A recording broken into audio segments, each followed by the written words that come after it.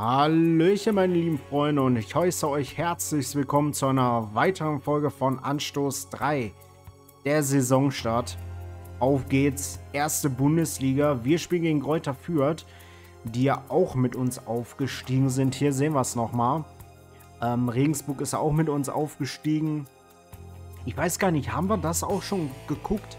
Wer hier in der dritten Liga aufgestiegen ist, das weiß ich jetzt gar nicht.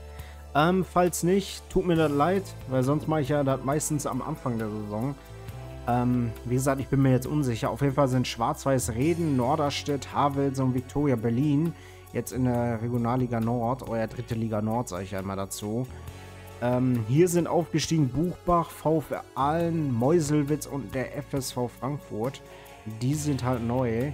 Dann haben wir hier ein paar Neulinge, Swansea City, Barnsley, Wolverhampton, hier haben wir Getafe, Valladolid und Deportivo Alaves. Hier in den Niederlanden, ja, Arnheim, Den Haag, De Graafschap sind neu. Dann haben wir hier SCR Alltag. So sieht's aus. Dann hier die Aufsteiger und Absteiger, die wissen wir ja schon aus der, ja, aus der Vergangenheit. Beziehungsweise aus der letzten Saison, da wo ich ja die Endschlusstabelle gesagt habe. So, ähm, ich muss jetzt mich kurz hereinfuchsen, was wir hier haben. Ähm, haben wir hier irgendwie Verträge oder so? Ähm, genau, der Hofmann wird umworben und wir wollen den Hartnagel haben als ähm, Außen-Mittelfeldspieler. Wir haben uns den Boskowski ja hochgezogen, genau, mit einem 5-Jahres-Vertrag. Ja, den Sanchez, den wollten wir ja eigentlich auch hochziehen, aber die Sache ist die, ja, irgendwie war der ja weg. Ich meine, der war doch 17, ne? Aber anscheinend wurde der dazwischen irgendwie 18, das haben wir nicht bemerkt. Ja, und deswegen war der ja bei Bayern und haben uns den dann geholt. Dementsprechend. Ähm, der Hoffmann wird umworben, deswegen, also dem würde ich jetzt auch keine Steine in den Weg legen, um ehrlich zu sein. Weil, ja, wir ja jetzt auch den Sanchez haben. Ja, der Müller, der soll ja verkauft werden. Genau, den haben wir ja auch auf die Transfersliste gesetzt. Dementsprechend, ja, wie gesagt, Ajani soll ja noch verkauft werden, Marlon Frei soll verkauft werden, Hoffmann, der wird dann auch jetzt verkauft. Ähm, ja, hier warten wir auf die Entwicklung von Sanchez zum Beispiel ab. Wehrmann ist ja auch noch da, hat auch nur noch ein Jahr Vertrag. Anhari ebenfalls. Ja, viele, ne? Osterhage, Lavia, die haben alle jeweils ein Jahr Vertrag. Ähm, ich sag mal so, ne? Wenn wir in der Liga bleiben, werden wir uns wahrscheinlich ein bisschen anders aufstellen in der nächsten Saison. Wir hoffen es natürlich, dass wir in der Liga bleiben. Ist ja logisch. Aber man weiß ja nie. Ne? Michael Brink ist jetzt noch zwei Wochen verletzt. Wir wollen heute nur zwei Spiele machen. Genau gegen Kräuter Fürth und gegen Hertha BSC machen wir heute. Und dann im nächsten Part Pokal gegen Stuttgart, dann gegen Leverkusen und dann gegen Borussia Dortmund schon. Ja, da kommen schon die hochkarätigen Teams. Wie gesagt, wird auf jeden Fall nicht einfach. Ähm, wir machen erstmal Fanbetreuung. Gegen Hertha BSC würde ich jetzt sagen, machen wir 2000 Karten Auswärtszuschuss. Hier Freikarten, ja, da würde ich jetzt auch sagen, machen wir 2000, weil wir jetzt in der ersten Bundesliga sind. Und ich würde sagen, Fans werben, machen wir auch ab dem nächsten Monat immer. Da werden innerhalb von zwölf Monaten, ja, wie viel kostet das? Muss ich jetzt nochmal gucken. Ähm, ja, sind 120.000 halt, ne? Die können wir ruhig verkraften. Das ist jetzt nicht das Problem. So, wir starten dann, würde ich sagen. Erstmal mit einem Hartnagel, genau. Was war der nochmal? Mittleres Talent, linkes Mittelfeld, kann aber auch rechts spielen. Teenie Star Allrounder. Genau, wir wollen den ja diese Saison haben. Hat zwei Jahre noch Vertrag.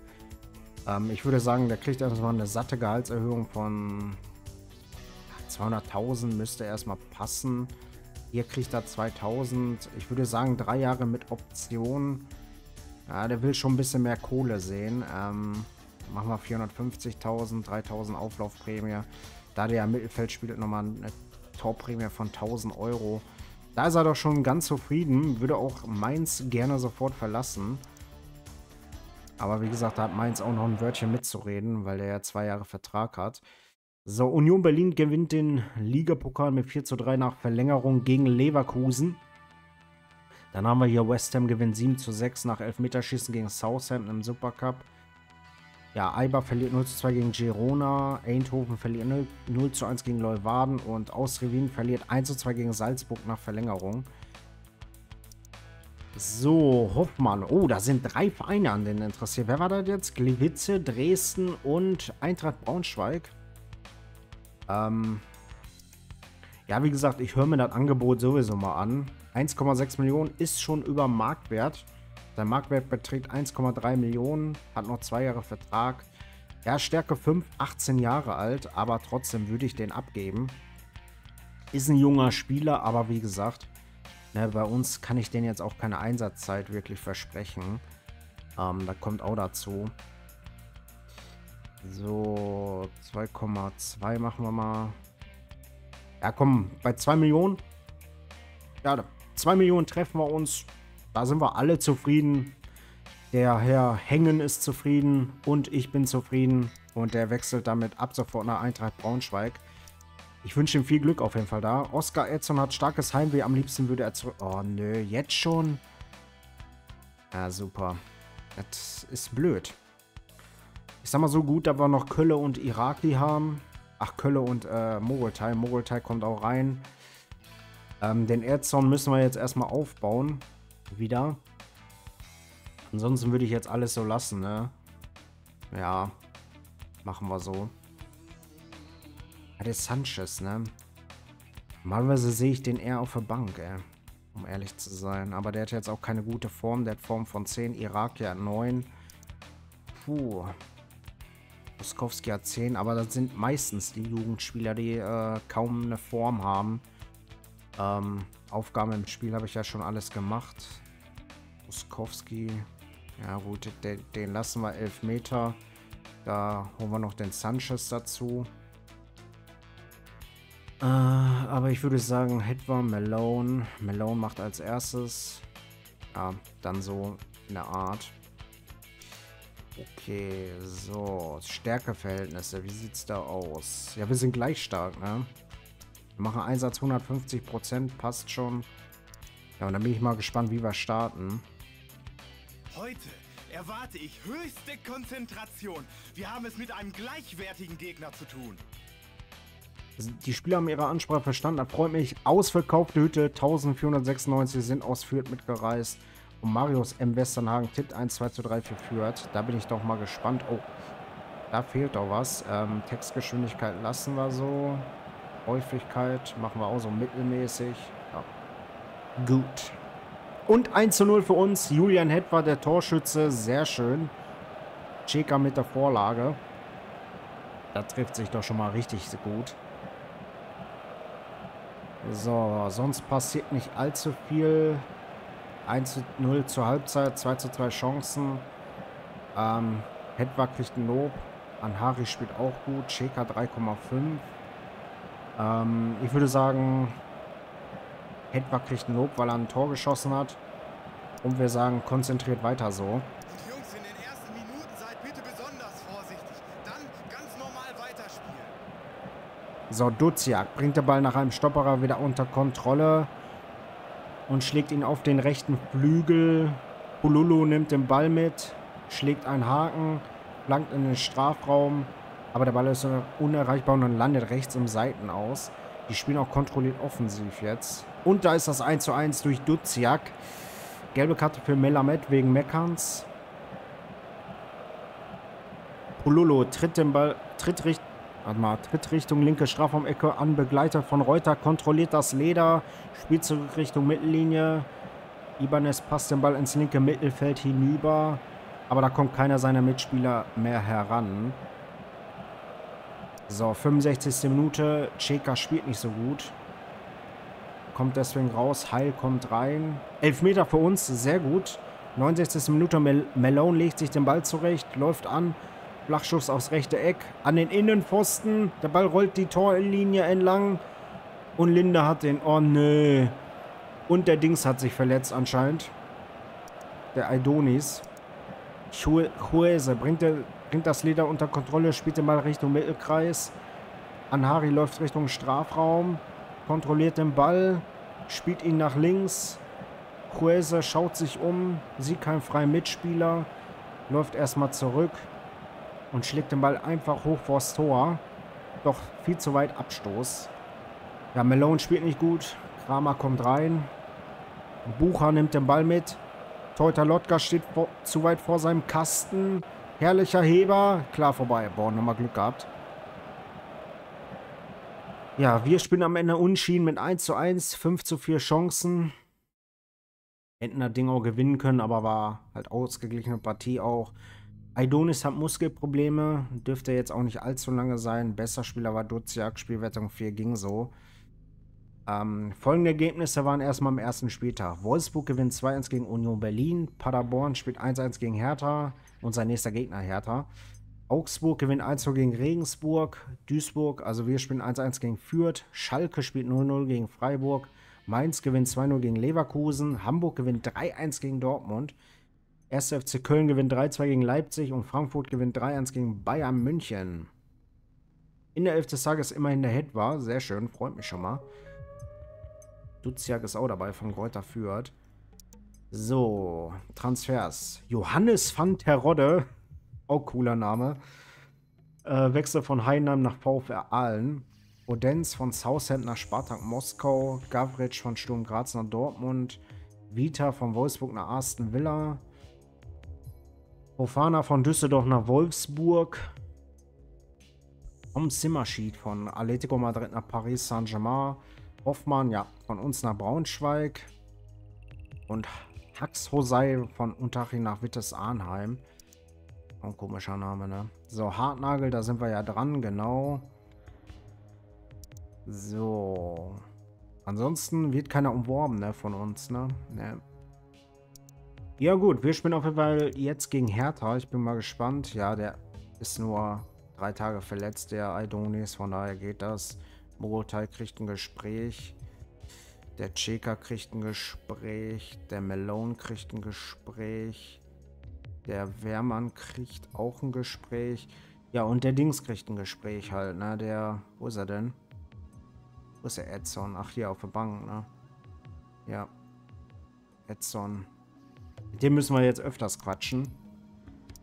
So, 17 Millionen haben wir auf der Bank. Auch schon alleine durch die 2 Millionen Einnahmen. Ja, ich bin am überlegen, wo könnten wir denn noch Verstärkungen jetzt gebrauchen? Der Hartnagel kommt ja jetzt. Weiß nicht, ey. So verstärkungstechnisch würde ich sagen, brauchen wir jetzt gar keinen so richtig, ne? Klar, wir könnten jetzt noch einen DM holen. Aber gibt es da was auf dem Markt, ey? Ja, geben tut es, ne? Hier dann mal den Fein. Hier Keitel haben wir da zum Beispiel. Aber 12 Millionen, nein. Hier haben wir den Tom Kraus, genau. 3,36 Millionen mittleres Talent. Zweikampf und Laufstärke. Unruhestifter und Schiri-Liebling. Torientes. Ja, wie gesagt. Könnte was werden, ne? Aber wie gesagt, der Marlon Frei muss einmal gehen am besten. Ja, und dann bin ich ja hier am Überlegen, ne? Wegen Osterhage. Wir den auch nicht sogar ziehen lassen. Hat auch ein kleines Talent. Wie gesagt, kann nicht verbessert werden. Der Lavia, ne? Der hat ein mittleres Talent. Osterhage kommt auch jetzt mal wieder rein. Ähm, ja, ansonsten kannst du da auch nicht viel machen, ne? Nicht so wirklich. Ja, Formen sind alle richtig gut eigentlich. Naja, wir schauen mal, ne? wie es weitergeht. Genau.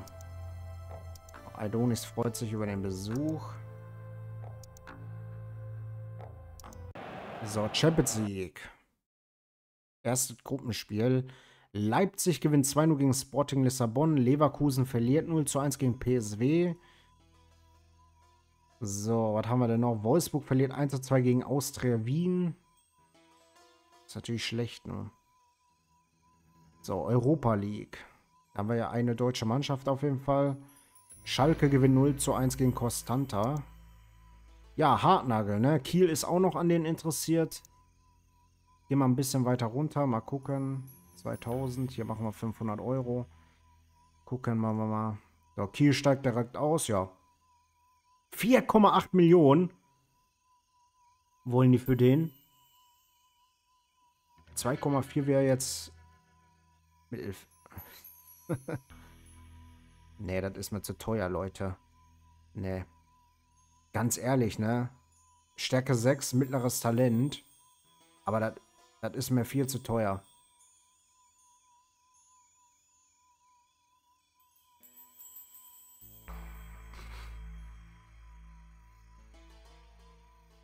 Ne.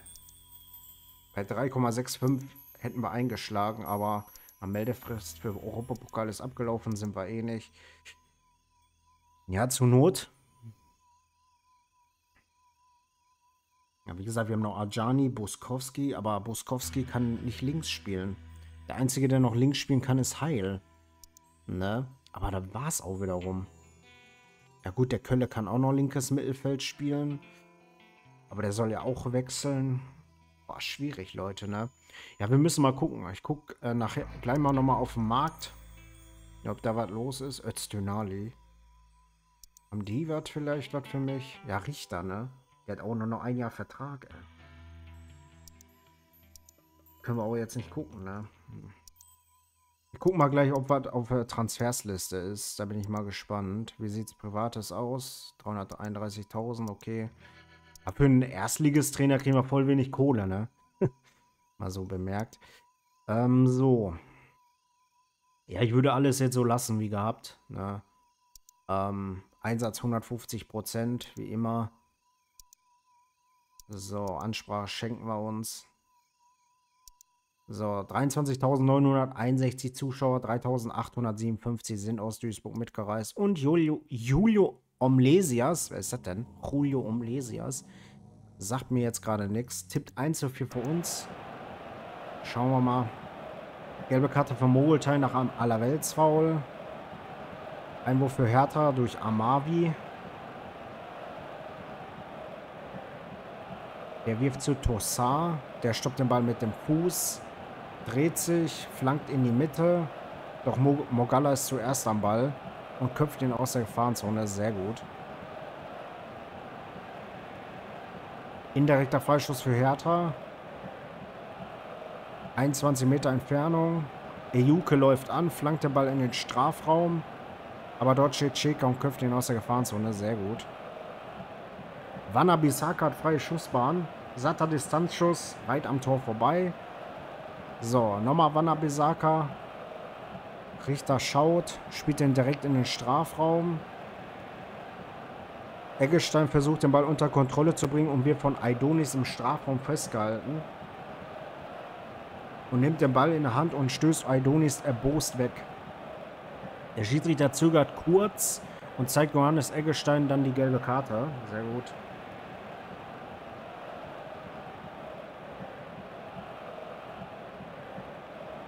Und 1 zu 0 für Hertha. Öztunali, der Torschütze. Ja, super.